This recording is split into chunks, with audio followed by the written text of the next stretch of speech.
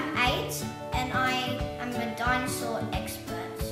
And I want to be a paleontologist when I'm older. And I also want to try to bring them back. Welcome to my new channel. It is called Asher's Dinosaur World. I'm going to be making episodes about dinosaurs in the next couple of years. And I want to share my passion with you guys.